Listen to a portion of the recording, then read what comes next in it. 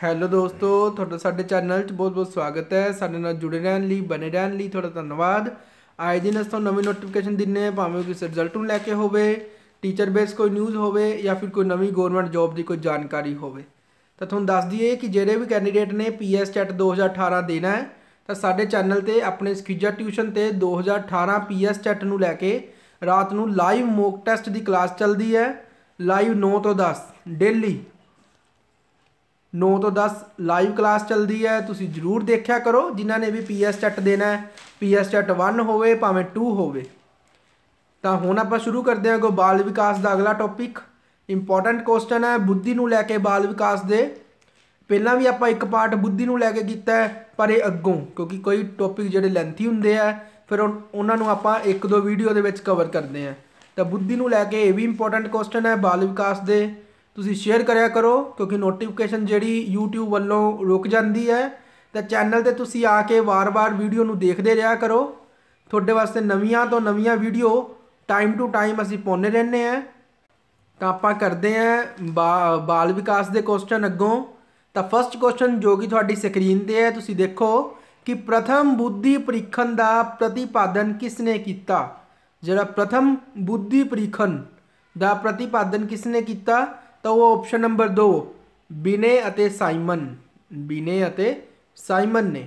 Option number B right option ਹੈ।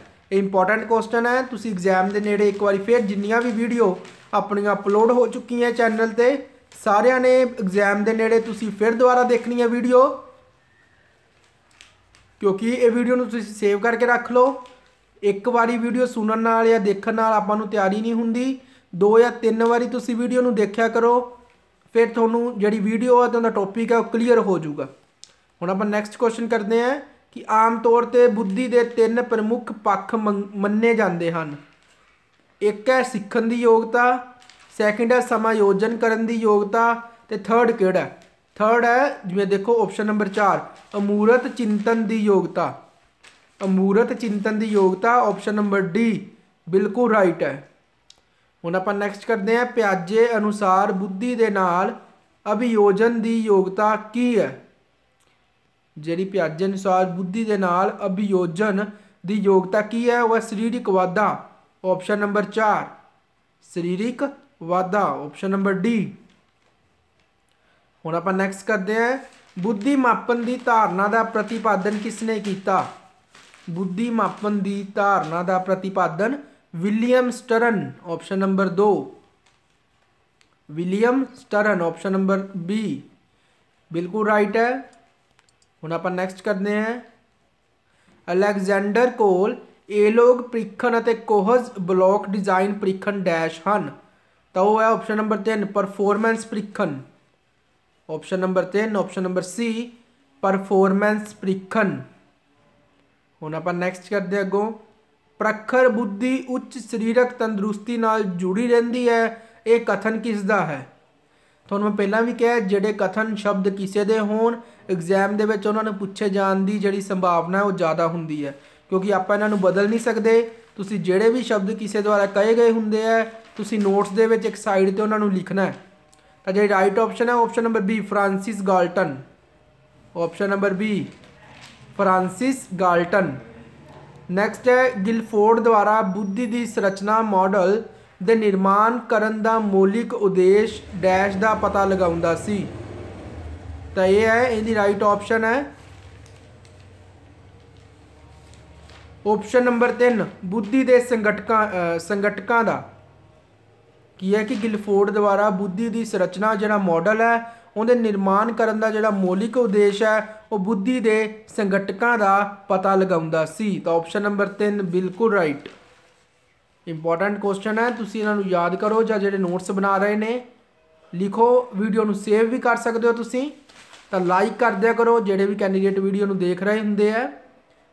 Next ਹੈ, ਇੱਕ ਤੇਜ਼ ਬੁੱਧੀ ਦਾ ਬੱਚਾ ਡੈਸ਼ ਬੱਚਿਆਂ ਦੀ ਬਜਾਏ ਜ਼ਿਆਦਾ ਸਮੱਸਿਆਵਾਂ ਦਾ ਹੱਲ ਖੋਜ ਸਕਦਾ ਹੈ। ਤਾਂ ਉਹ ਹੈ ਘੱਟ ਬੁੱਧੀਮਾਨ ਬੱਚਿਆਂ ਦੀ ਬਜਾਏ। ਆਪਸ਼ਨ ਨੰਬਰ ਬੀ ਸਹੀ ਹੈ। ਨੈਕਸਟ ਹੈ ਥਾਰਨਡਾਈਕ ਅਨੁਸਾਰ ਇੱਕ ਔਸਤਨ ਵਿਅਕਤੀ ਦੀ ਬੁੱਧੀ ਦਾ ਪੱਧਰ ਉਸ ਦੀ ਡੈਸ਼ ਦਾ ਸਮਾਨਾਰਥਕ ਹੁੰਦਾ ਹੈ। ਉਹ ਹੈ ਮਾਨਸਿਕ ਉਮਰ। ਮਤਲਬ ਬੀ ਮਾਨਸਿਕ ਉਮਰ। ਨੈਕਸਟ ਹੈ ਵੈਸ਼ਲਰ ਦੁਆਰਾ ਬੱਚਿਆਂ ਲਈ ਬਣਾਇਆ ਬੁੱਧੀ ਮਾਪਨ ਸਕੇਲ ਦੀ ਵਰਤੋਂ ਕਿਸ ਉਮਰ ਤੋਂ ਘੱਟ ਉਮਰ ਦੇ ਬੱਚਿਆਂ ਲਈ ਨਹੀਂ ਕੀਤੀ ਜਾਂਦੀ? ਤਾਂ ਆਪਾਂ ਮੋਕ ਟੈਸਟ ਦੇ ਵਿੱਚ ਇਹਦੇ ਨਾਲ ਰਿਲੇਟਡ ਕਈ ਕੁਐਸਚਨ ਪੜ੍ਹੇ ਆ ਤਾਂ ਜਿਹੜੀ ਇਹਦੀ ਰਾਈਟ ਆਪਸ਼ਨ ਹੈ ਉਹ ਆਪਸ਼ਨ ਨੰਬਰ 4 5 ਸਾਲ ਆਪਸ਼ਨ ਨੰਬਰ ਡੀ ਤਾਂ ਹੁਣ ਆਪਾਂ ਨੈਕਸਟ ਕਰਦੇ ਹਾਂ ਕਿ ਬੁੱਧੀ ਮਾਪਨ ਦਾ ਅਪਸਰਨ ਡੈਵੀਏਸ਼ਨ ਆਫ ਆਈਕਿਊ ਦਾ ਸੰਕਲਪ ਕਿਸ ਨੇ ਦਿੱਤਾ? ਤੁਸੀਂ ਯਾਦ ਰੱਖਣਾ ਹੈ, ਉਹ ਹੈ Wechsler. Option number B Wechsler. ਤਾਂ ਇਹ ਇੰਪੋਰਟੈਂਟ ਕੁਐਸਚਨ ਹੈ। ਨੈਕਸਟ ਹੈ, ਬੱਚੇ ਦੀ ਮਾਨਸਿਕ ਉਮਰ ਦਾ ਨਿਰਧਾਰਨ ਕਰਦੇ ਸਮੇਂ ਕਿਸ ਨੂੰ ਮਹੱਤਵ ਦਿੱਤਾ ਜਾਂਦਾ ਹੈ? ਤਾਂ ਉਹ ਆਉਂਦੀ ਪਰਫਾਰਮੈਂਸ ਮਤਲਬ ਬੱਚੇ ਪ੍ਰੀਖਣ ਤੇ ਉਸ ਦੀ ਪਰਫਾਰਮੈਂਸ ਤੇ। ਆਪਸ਼ਨ ਨੰਬਰ ਏ ਬਿਲਕੁਲ ਰਾਈਟ ਦੇਖੋ ਪਰਫਾਰਮੈਂਸ ਨੂੰ ਇੱਕ ਪੰਜਾਬੀ ਦਾ ਵਰਡ ਇਹ ਵੀ ਯੂਜ਼ ਕਰ ਲੈਂਦੇ ਆ, ਨਿਸ਼ਪਤੀ। ਇਹਨੂੰ ਇੰਗਲਿਸ਼ 'ਚ ਪਰਫਾਰਮੈਂਸ ਕਹਿ ਦਿੰਦੇ ਆ। ਨੈਕਸਟ ਹੈ ਕਿ ਰੈਵਨ ਦਾ ਪ੍ਰੋਗਰੈਸਿਵ ਮੈਟ੍ਰਿਸਿਸ ਟੈਸਟ ਜਿਸ ਦੀ ਬੁੱਧੀ ਪ੍ਰੀਖਣਾ ਵਿੱਚ ਬਹੁਤ ਪ੍ਰਯੋਗ ਕੀਤਾ ਜਾਂਦਾ ਹੈ, ਇੱਕ ਡੈਸ਼ ਪ੍ਰੀਖਣ ਹੈ। ਤਾਂ ਇਹ ਹੈ ਗੈਰ ਮੌਖਿਕ ਪ੍ਰੀਖਣ। ਆਪਸ਼ਨ ਨੰਬਰ 2 ਗੈਰ ਮੌਖਿਕ ਪ੍ਰੀਖਣ ਤੇ ਨੈਕਸਟ ਹੈ ਭਾਰਤ ਦਾ ਪਹਿਲਾ ਮਾਨਕੀਕ੍ਰਿਤ ਬੁੱਧੀ ਟੈਸਟ ਦਾ ਨਿਰਮਾਣ ਕਿਸ ਨੇ ਕੀਤਾ? ਤਾਂ ਉਹ ਹੈ second option H C Rice ਤਾਂ ਉਹ ਹੈ ਐਚ ਸੀ ਰਾਈਸ ਤਾਂ ਨੈਕਸਟ ਆਪਾਂ ਕਰਦੇ ਹਾਂ ਮਾਨਕੀਕ੍ਰਿਤ ਬੁੱਧੀ ਪ੍ਰੀਖਣਾ ਦੀ ਇੱਕ ਪ੍ਰਮੁੱਖ ਕਮੀ ਡੈਸ਼ ਹੈ। ਕੀ ਪ੍ਰਮੁੱਖ ਕਮੀ ਹੈ? ਉਹ ਆਪਸ਼ਨ ਨੰਬਰ 3 ਸੱਭਿਆਚਾਰਕ ਪੱਖਪਾਤ। ਤਾਂ ਆਪਸ਼ਨ ਨੰਬਰ 3 ਸੱਭਿਆਚਾਰਕ ਪੱਖਪਾਤ। ਨੈਕਸਟ ਹੈ, ਸਪੀਅਰਮੈਨ ਦੁਆਰਾ ਪ੍ਰਤੀਸ਼ਤ, ਪ੍ਰਤੀਪਾਦਿਤ। ਸਪੀਅਰਮੈਨ ਦੁਆਰਾ ਪ੍ਰਤੀਪਾਦਿਤ ਜੀ ਕਾਰਕ ਦਾ ਅਰਥ ਹੁੰਦਾ ਹੈ। ਕੀ ਅਰਥ ਹੁੰਦਾ ਹੈ? ਜਰਨਲ ਜਾਂ ਸਧਾਰਨ ਕਾਰਕ ਤਾਂ ਯਾਦ ਰੱਖਿਓ ਜੀ ਕਾਰਕ ਫੈਕਟਰ ਹੈ ਜਿਹੜਾ, ਉਹਦਾ ਅਰਥ ਕੀ ਹੈ? ਸਧਾਰਨ ਕਾਰਕ ਜਰਨਲ ਕਾਰਕ ਠੀਕ ਹੈ? ਨੈਕਸਟ ਆਪਾਂ ਕਰਦੇ ਹਾਂ ਬੱਚਿਆਂ ਦੀ ਬੁੱਧੀ ਦਾ ਪੱਧਰ ਨਿਸ਼ਚਿਤ ਕਰਨ ਲਈ ਅਧਿਆਪਕ ਹੇਠ ਲਿਖੇ ਪ੍ਰਯੋਗਾਂ ਨੂੰ ਪ੍ਰਮੁਖਤਾ ਦੇਣੀ ਚਾਹੀਦੀ ਹੈ। ਤਾਂ ਉਹ ਹੈ ਆਪਸ਼ਨ ਨੰਬਰ 4 ਮਨਕੀਕ੍ਰਿਤ ਬੁੱਧੀ ਪ੍ਰੀਖਣ। ਆਪਸ਼ਨ ਨੰਬਰ 4 ਮਨਕੀਕ੍ਰਿਤ ਬੁੱਧੀ ਪ੍ਰੀਖਣ। ਤੇ ਇਹ ਆਪਾਂ ਬਾਲ ਵਿਕਾਸ ਦੇ ਇੰਪੋਰਟੈਂਟ ਕੁਐਸਚਨ ਕੀਤੇ। ਹੋਰ ਵੀ ਅੱਗੇ ਕਰਾਂਗੇ, ਹੋਰ ਵੀ ਤੁਹਾਡੇ ਲਈ ਨੋਟਸ ਲਿਆਵਾਂਗੇ। ਜੇ ਕੋਈ ਟੀਚਰਾਂ ਨੂੰ ਲੈ ਕੇ ਨਿਊਜ਼ ਆਈ, ਉਹ ਵੀ ਦੇਵਾਂਗੇ।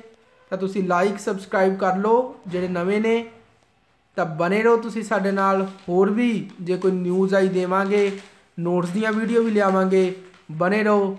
ਧੰਨਵਾਦ।